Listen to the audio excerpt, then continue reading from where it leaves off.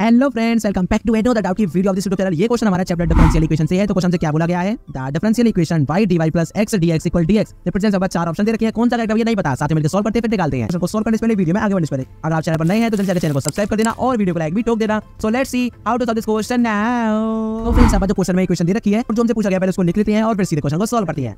अब हमसे क्या पूछा गया है? हमसे चार ऑप्शन रखे हैं और हमसे पूछा गया है, जो डिफरेंशियल इक्वेशन है, वो रिप्रेजेंट करती है चार ऑप्शन से किसको? तो पहले इसको थोड़ा सॉल्व कर लेते हैं, इसकी जनरल इक्वेशन निकाल लेते हैं, ठीक है?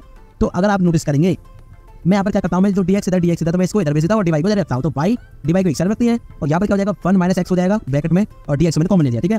अब मैं यहाँ पर क्या कर रहा हूँ? इंटीग्रेशन लगा देता हूँ, ठीक है? इंटीग्रेशन कर देते हैं। तो dy का इंटीग्रेशन करेंगे तो क्या हो जाएगा? हो जाएगा y स्क्वायर अपॉन में 2 प्लस में c1 इसका कांस्टेंट इधर होगा तो इधर में क्या करूँगा? कांस्टेंट है तो माइनस का साइन है ना? यहाँ पर क्या हो जाएगा? स्प्लिट हो जाएगा इंटीग्रेशन तो 1 का हम साथ करेंगे इंटीग्रेशन तो क्या हो जाएगा? x माइनस में x x का करेंगे dx के तो x स्क्वायर अपॉन में 2 प्लस का इसका कांस्टेंट c2 मान लिया ठीक है? यहाँ से बस क्या हो गया? y स्क्वायर अपॉन 2 प्लस में एक्स स्क्वायर अपॉन टू, मेरे क्या सबको जो वेरिएबल से एक साइड ले लेता हूँ। माइनस एक्स और जो C two minus C one को इसको मैं करता वाला कैपिटल सी ठीक है, इतना समझ आ गया? अब मैं करता हूँ एलसीएम ले लेता हूँ टू भैया इसको हटाते हैं सबको एक साथ कर देते हैं। टू को मल्टीप्लाई करता पूरी क्वेश्चन में। तो वाई स्क्वायर प्लस में एक्स स्क्वायर कर दिया माइनस में टू एक्स कर दिया, इधर टू सी हो गया। अब आप एक चीज़ नोटिस करेंगे यार एक्स स्क्वायर भी है माइनस में टू एक्स भी है मतलब कि two into a into b हमें बन रहा है। लेकिन एक चीज़ की कमी हो रही है, यहाँ पर अगर देखेंगे तो यहाँ पर वन का मल्टीप्लाई हो रहा है। टू इंटू इंटू बी अब ए हमारे पास है क्या? एक्स लेकिन बी नहीं है मतलब कि वन तो मैं क्या करता हूँ यहाँ पर इसको फुल कंप्लीट स्क्वायर बनाने के लिए स्क्वायर वैल्यू रखते हैं। प्लस में एक्स स्क्वायर माइनस में टू इंटू में वन इंटू एक्स है ना यहाँ पर वन आ रहा है तो मैं करता हूँ वन का तो स्क्वायर एड कर लेता हूँ और माइनस कर लेता हूँ। वन का तो कोई फ़र्क नहीं होगा इक्वेशन में बिल्कुल नहीं होगा भैया, क्योंकि इसको अगर सॉल्व करेंगे हम ऊपर वाली मिल जाएगी तो इसका मतलब हमने कोई भी इक्वेशन में छिड़कानी गलत नहीं की, एक सही छिड़कानी की है, ठीक है? तो इसका मतलब क्या भैया पूरे जो एक्सप्रेशन ये वाला, ये बस क्या बन गया, ये पास बनेगा वाई स्क्वायर तो लाया, और ये हो जाएगा प्लस में एक्स माइनस वन का होल स्क्वायर और ये माइनस वन का होल स्क्वायर माइनस वन देखो, इसको हम क्या करते हैं कॉन्सेप्ट भेज देते हैं तो इधर हो जाएगा। उसी प्लस वन हो गया, क्योंकि माइनस वन है, इधर प्लस वन हो जाएगा। इतना क्लियर है? भैया, बिल्कुल क्लियर है, ठीक है?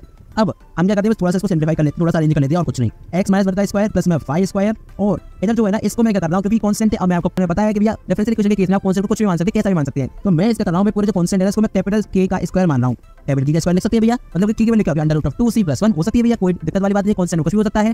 ठीक है, क्योंकि हमें की की वैल्यू भी नहीं पता और इसकी वैल्यू भी नहीं पता। अगर यहाँ पर कुछ वैल्यू होती, जैसे सी की वैल्यू होती तो ये फिक्स वैल्यू होती। और फिक्स वैल्यू होती तो की की वैल्यू फिक्स आ जाती, लेकिन अब यहाँ पास है नहीं तो इसका मतलब क्या है? कॉन्सेप्ट आप कुछ भी घेर कर सकते हैं। ठीक है, अगर ये आपको समझ आ गया यहाँ तक बात तो अब आप इसको कंपेयर कर सकते हैं। किससे मेरे पास, मेरे दिमाग में बस एक इक्वेशन आ है, इसको लेके x square plus y square तो ये तो इक्वेशन ऑफ़ सर्कल है। हाँ भैया, वही है। तो अगर इसकी जनरल इक्वेशन लिखें तो वो होती है बस में माइनस एच का होल स्क्वायर प्लस में five minus k whole square is equal to r square circle पास से भैया एच कॉमा की, अगर ये एच कॉमा से पास करेंगे, तब हम ये क्वेश्चन लिख सकते हैं। ठीक है तो ये जनरल इक्वेशन भी होती है। आप नोटिस करें तो एच की वैल्यू तो मेरे पास कितनी आ रही है? वन आ रही है, लेकिन अगर नोटिस करें तो के की वैल्यू कितनी आ रही है ज़ीरो आ रही है। तो इसका मतलब हम क्या कह सकते हैं भैया? जो सर्कल है ना, अगर आप इसका थोड़ा सा डायग्राम भी बनाए तो मैं बना देता हूँ। देखिए, ये सर्कल का डायग्राम इसको बना ले थोड़ा सा। ठीक है ये एक्स है ये वाई है। एक्स की वैल्यू बस एच वैल्यू बस कितनी है? वन तो यहाँ पर वन है। और वाई में बस कितना है? ज़ीरो तो यहाँ पर है। जो एच कॉमा किया है ना, ये क्या है ये हमारे पास क्या होते हैं? कोऑर्डिनेट्स होते हैं किसके? सेंटर ऑफ़ सर्कल के। तो इसका मतलब क्या होगा भैया? जो ये से है ना, ये सेंटर हो जाएगा सर्कल का।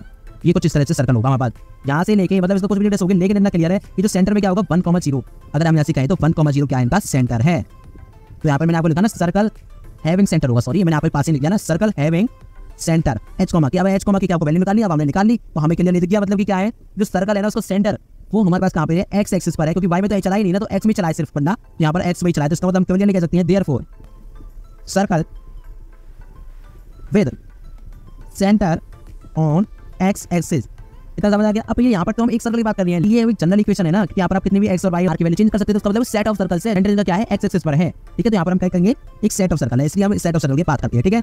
अ सेट ऑफ़ सर्कल्स इस सेम डिफरेंशियल इक्वेशन बहुत सारे सेट ऑफ़ सर्कल्स को क्या है? इंडिकेट कर सकती है, उनके एक सोल्यूशन दे सकती है। इसलिए मैंने यहाँ पर सेट ऑफ़ सर्कल्स लिखा है। तो ये हमारे क्वेश्चन का फाइनल आंसर हो गया। ठीक है फ्रेंड्स तो इसे आपको क्वेश्चन सॉल्व करना था। आई होप ये क्वेश्चन आपको क्लियर हो गया होगा। अगर आपको सोल्यूशन डाउनलोड करना है तो इसकी लिंक आपको डिस्क्रिप्शन मिल जाएगी। वहाँ पर जाकर इसको डाउनलोड कर सकते हैं। Thank you so much for watching this video मिलता है अगली वीडियो में। क्वेश्चन के साथ till then bye bye Tata